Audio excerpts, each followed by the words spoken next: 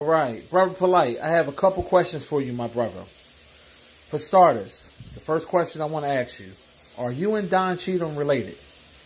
Because y'all got some type of resemblance. I don't know if y'all brothers. He's your uncle. Um, he's not old enough to be your dad, so um, just wanted to ask you that. Now this is how you catch a fucking predator on some Chris Hansen shit. You know what I mean? This is even worse than that. You know what I'm talking about? Now I'm gonna just break something down to you, okay? You Don Cheetah looking motherfucker.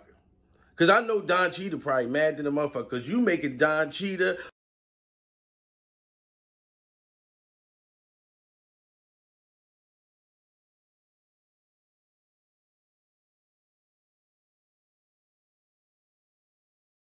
Nope.